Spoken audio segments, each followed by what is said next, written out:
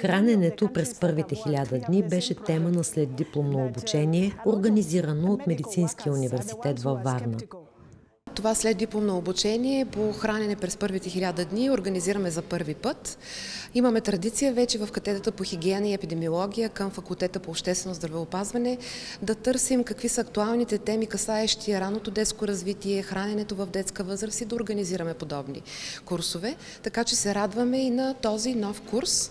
Той е насочен основно към медицински сестри, към акушерки, към здравни специалисти, но заедно с това в курса ни присъстват рехабилитатори, логопеди, психолози, социални работници и хора, които се интересуват от тази възраст и от храненето в нея. Първите хиляда дни. Това е възрастта от зачеването на детето до две годишна възраст.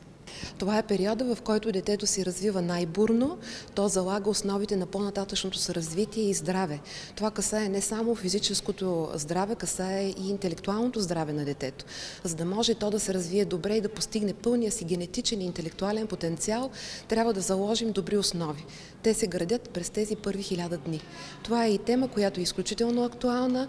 Тя е в полезрението на организации като УНИЦЕФ и през следващия 5 годишен период раното детско развитие се явява приоритет както за УНИЦЕФ, така и за държавата ни. Освен специалисти от катедрата по хигиена и епидемиология към Варненския медицински университет, имаше и външни лектори, признати у нас и в чужбина експерти. Специален гост беше доктор Джейн Муита, представител на УНИЦЕФ за България.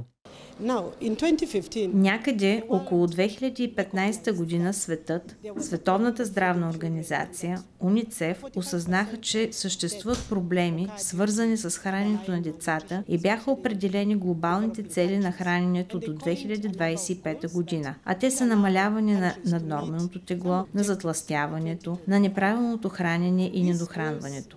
Идеята първоначално беше да се положат усилия те да бъдат постигнати до 2025 година, но по-късно бяха адаптирани така, че да съвпадат с глобалните цели на ООН и постигането на някой от тях е заложено до 2300 година. Истината е, че да има недохранване, да има гладуващи деца, причината е бедността. Освен бедността като финансово измерение, родителството, начина на отглеждане на децата е другата причина.